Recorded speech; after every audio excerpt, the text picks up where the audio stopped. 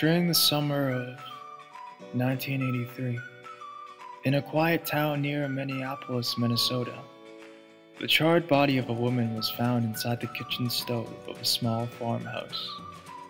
A video camera was also found in the kitchen, standing on a tripod, pointing at the oven.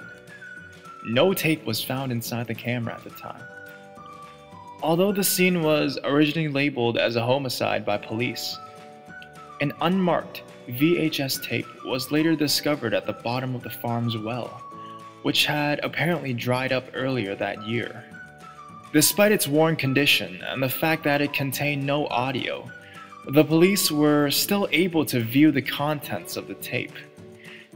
It depicted a woman recording herself in front of a video camera, seemingly using the same camera that the police found in the kitchen.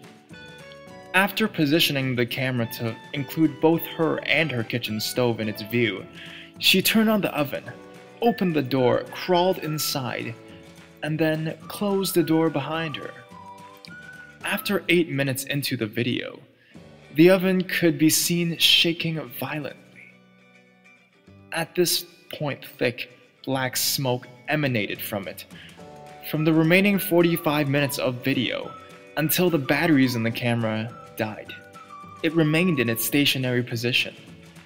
To avoid disturbing the local community, the police never released any information about the tape, or even the fact that it was found. Police were also not able to determine who put the tape in the well, or why the height and stature of the woman in the video did not come close to matching the body that they found in the oven.